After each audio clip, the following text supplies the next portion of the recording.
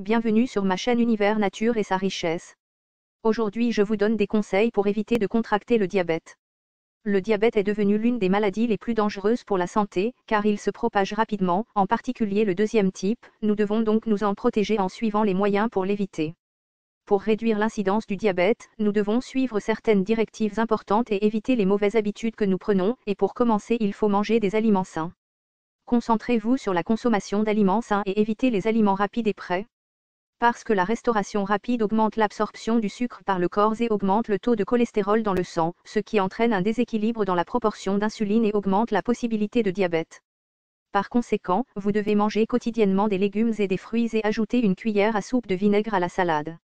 Parmi les aliments qui aident à prévenir le diabète, il y a ceux qui contiennent des fibres, comme les grains entiers comme le blé, l'orge et l'avoine, car ils aident à réduire le taux de sucre dans le corps.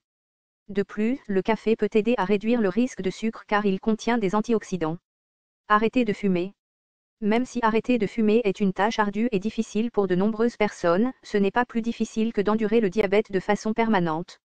Diverses études scientifiques ont indiqué que le tabagisme est un facteur de risque majeur pour le développement du diabète. Pratiquer du sport.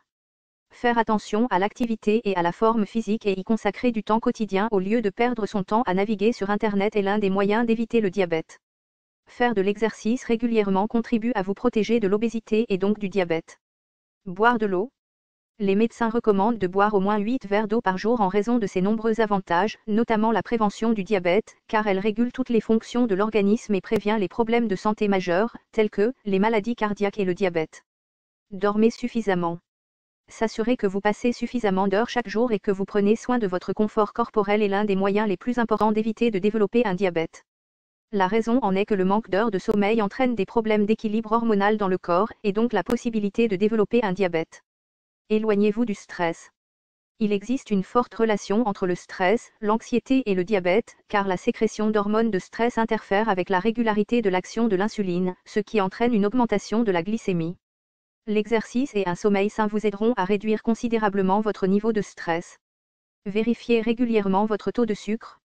Pour être assuré que tout se passe bien et faire face rapidement à la situation en cas de problème, il est indispensable de vérifier régulièrement votre glycémie. Raison de la propagation du diabète.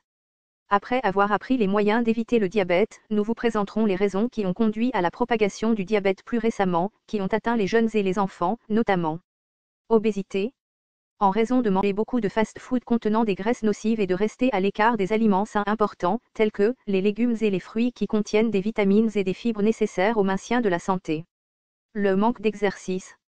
Les taux de paresse ont augmenté une fois que tout est à portée de main, c'est l'âge de la technologie qui oblige les jeunes et les moins jeunes à rester assis pendant de longues périodes devant les smartphones et les tablettes, et à rester à l'écart des sports et des activités diverses.